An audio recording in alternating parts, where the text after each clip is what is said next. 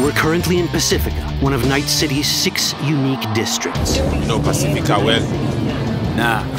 You guys aren't exactly great at rolling out the welcome mat for outsiders. It was designed to be a tourist hotspot within the city.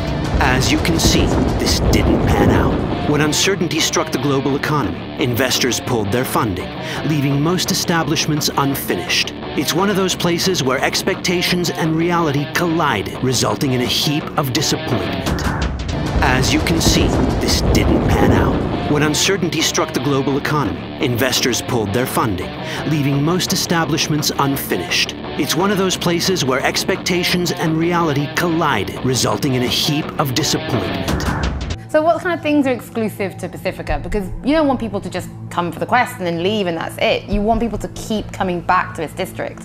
So what can people find there? Um, I mean,